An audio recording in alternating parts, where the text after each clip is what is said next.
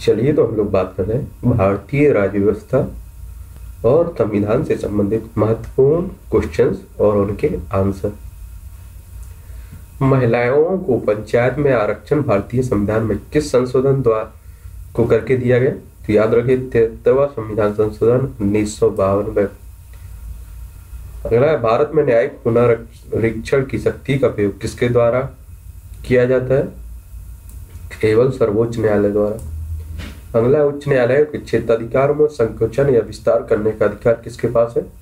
संसद के। अगला है, केंद्र सूची, राज्य सूची और समृद्धि सूची का विवरण संविधान में कहा दिया गया?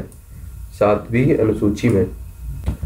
अगला है, संविधान में हमारे राष्ट्र का उल्लेख किस ना, किन किन नामों से भारत तथा इंडिया।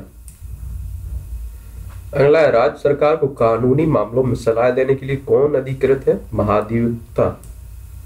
अगला डॉक्टर बी आर अंबेडकर सन उन्नीस से उन्नीस तक किस विभाग के केंद्रीय मंत्री रहे? कानून।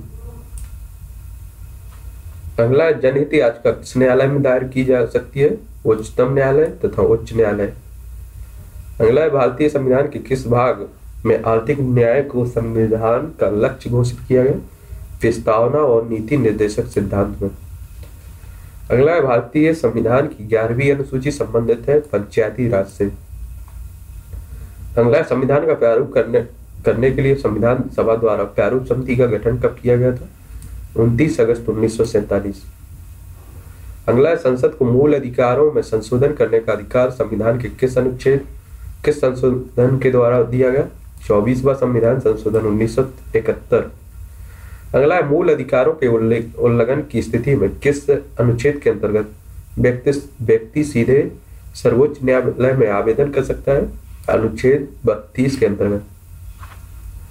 अगला है, भारत के किसी राज्य में विधान परिषद का सृजन अथवा समाप्ति की जा सकती है? राज्य विधानसभा के तत्व संबंधी संकल्प पारित करने पर संसद द्वारा।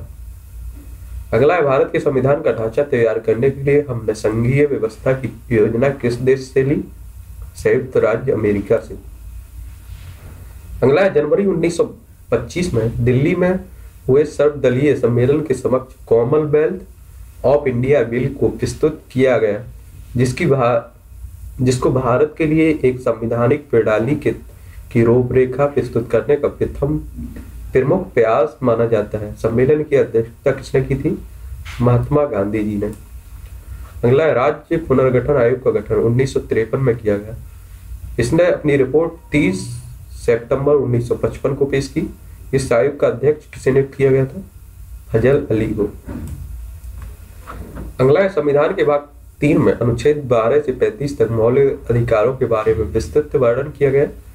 इन अधिकारों का निर्धारण संविधान सभा द्वारा गठित एक समिति के द्वारा किया गया इसके अध्यक्ष कौन थे? सरदार वल्लभ भाई पटेल। अगला क्वेश्चन अनुच्छेद 19 में भारतीय क्षेत्र में कहीं भी भ्रमण तथा इसकी इसके किसी भी भाग में निवास करने के अधिकार का उल्लेख है। किस अनुच्छेद के अनुसार कश्मीर राज्य क्षेत्र देश के किसी राज्य के निवासी को स्थायी निवास करने पर प्रतिबंध लगाता था? तो अनुच्छेद 370 पहले भी बात कर चुके हैं कि 370 को निरस्त कर दिया गया है। ठीक है? जब अनुच्छेद तीन सौ बावन के अधीन राष्ट्रीय आपातकाल की घोषणा की गई हो, तब अनुच्छेद 19 द्वारा प्रदत्त मौलिक अधिकारों को स्वतः निलंबित हो जाते हैं राष्ट्रपति अधिसूचना जारी करके अन्य मूल अधिकारों को समाप्त कर सकता है। लेकिन किन अनुच्छेदों द्वारा प्रदत्त अधिकारों को कभी भी समाप्त नहीं किया जा सकता है? तो याद रखिए, अनुच्छेद 20 और 21 अगला कैबिनेट मंत्री सरकार की नीतियों को निर्धारित करते हैं। प्रत्येक ऐसे आवश्यक विषय पर विधेयकों को का प्रारूप तैयार करते हैं, जिन्हें वे विधि रूप से पास करना चाहते हैं। संविधान में कैबिनेट शब्द का उल्लेख नहीं किया गया था, लेकिन चवालीसवें संविधान संशोधन के द्वारा कैबिनेट शब्द को किस अनुच्छेद में स्थान दिया गया? अनुच्छेद तीन सौ बावन। अगला महान्यायवादी सरकार का मुख्य विधि अधिकार, अधिकारी होता है। उसे भारत के सभी न्यायालयों में सुनवाई का अधिकार है। साथ ही उसे संसद के दोनों सदनों में बोलने तथा उसकी कार्यवाही में भाग लेने का अधिकार होता है। पर वह वोट नहीं दे सकता है। इसकी नियुक्ति किसके द्वारा की जाती है? याद रखिए, राष्ट्रपति द्वारा। अगला, यदि किसी समय लोकसभा में अध्यक्ष तथा उपाध्यक्ष उपस्थित न हो तो ऐसी स्थिति में सदन की कार्यवाही को चलाने के लिए लोकसभा लोकसभा सदस्यों में से ही लोकसभा अध्यक्ष छह सभापतियों की एक सूची बनाता है और ज़रूरत पड़ने पर उस सूची में मनोनीत किए गए व्यक्ति सभापति के रूप में सदन के अधिवेशनों की अध्यक्षता करता है। इस रूम में अध्यक्ष को कौन सी शक्तियाँ प्राप्त नहीं होती? अध्यक्ष को सारी शक्तियाँ प्राप्त होती हैं। अगला पारिवारिक वातावरण में सौहार्द पूर्ण पूर्ण स्थिति के साथ यदि कोई पारिवारिक समस्या है तो उसका यथाशीघ्र समाधान करने, विवाह आदि पारिवारिक मुद्दों को निपटाने के परिवार न्यायालयों की स्थापना परिवार न्यायालय अधिनियम उन्नीस सौ चौरासी द्वारा की गई इसके लिए न्यूनतम कितनी आबादी होना चाहिए? आवश्यक है दस लाख। अगला संविधान के अधिकतर भाग।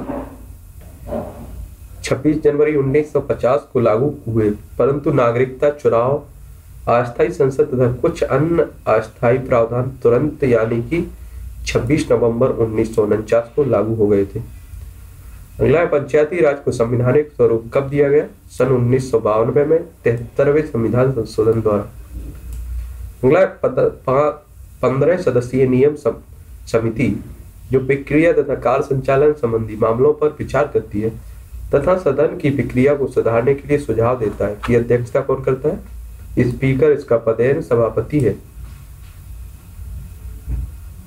अगला केंद्र तथा ए, एक या उससे अधिक राज्यों में होने वाले विवादों के मामले कौन से न्यायालय में प्रारंभ हो सकते हैं? केवल सर्वोच्च न्यायालय में।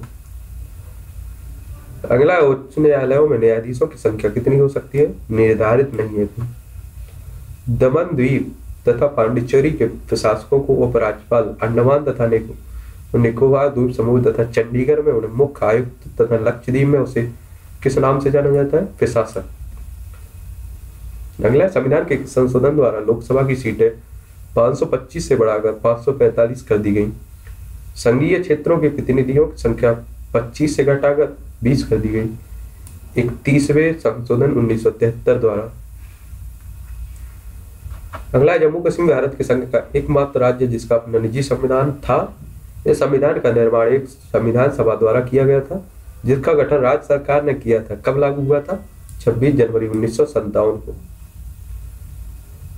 अगला है, भारत की संचित निधि। वह निधि है, जिसमें सरकार द्वारा या उसकी ओर से प्राप्त सभी राजस्व जमा कराया जाता है। इसके अतिरिक्त नए ऋण, पुराने ऋणों की अदायगी इत्यादि से प्राप्त होने वाला धन इत्यादि भी इसी में जमा कराए जाते हैं। इसे खर्च करने के लिए अनुमति आवश्यक है संसद की। अगला किस संशोधन द्वारा संविधान में दसवीं अनुसूची जोड़ी गई, जिसमें संसद तथा राज्य विधानसभाओं के सदस्यों द्वारा दल बदल के कारण उन्हें अयोग्य घोषित करने संबंधी प्रावधान थे। तो बावन में बावन बा संशोधन उन्नीस सौ पचासी फिफ्टी टू अगला भारत की संविधान गुत्थी को 1944 में सीआर फार्मूले तथा 1945 में वेवल प्लान के अंतर्गत सुलझाने का प्रयास किया गया, परंतु इसमें सफलता नहीं मिली। किस प्लान में संविधान सभा के गठन का सुझाव दिया गया? कैबिनेट मिशन प्लान उन्नीस अगला संविधान को 22 भागों में बांटा गया। प्रत्येक भाग में अनेक अनुच्छेद है। नागरिकों को छह स्वतंत्रताएँ, भाषण तथा अभिव्यक्ति की स्वतंत्रता सम, सभा सम्मेलन की स्वतंत्रता समुदाय के निर्माण की स्वतंत्रता देश के सभी भागों में घूमने फिरने की स्वतंत्रता और कोई भी व्यवसाय अपनाने की घोषणा की स्वतंत्रता। आदि का उल्लेख कहा किया गया? तीसरे भाग के अनुच्छेद 19 में। प्रारंभ में संविधान में सात प्रकार के मौलिक अधिकारों का उल्लेख किया गया था। परंतु किस संविधान संशोधन द्वारा संपत्ति के अधिकार को मौलिक अधिकारों की सूची से हटा लिया गया? चवालीसवें संविधान संशोधन, उन्नीस में। चवालीसवा संविधान संशोधन, उन्नीस सौ अठहत्तर में हुआ था। ठीक है? यहाँ अठहत्तर है अगला है उसकी शिक्षण संस्थानों में धार्मिक शिक्षा का निषेध संविधान के किस अनुच्छेद के अंतर्गत किया गया? अनुच्छेद 28 अगला शासन की किसी भी संभावित दमनकारी नीति से नागरिक हितों के रक्षार्थ संविधान द्वारा नागरिकों को कौन सा अधिकार प्रदान किया गया? जिसके अंतर्गत वे न्यायालय की शरण ले सकते हैं, संवैधानिक उपचारों का अधिकार। अगला है भारत में सर्वप्रथम उच्च न्यायालय की स्थापना का प्रावधान किस अधिनियम द्वारा किया गया? रेगुलेटिंग एक्ट उन्नीस अगला है, संविधान में सम्मिलित नीति निर्देशक तत्व है आयरलैंड संघीय शासन प्रणाली कर्नाटक कनाडा, आपातकालीन उपबंध जर्मनी, गणतांत्रिक व्यवस्था फ्रांसीसी, मूल कर्तव्य सोवियत संघ, संशोधन की प्रक्रिया दक्षिण अफ्रीका के संविधान से प्रभावित है। संसादात्मक लोकतंत्र प्रणाली कहाँ से प्रेरित है? तो याद रखिए ब्रिटेन से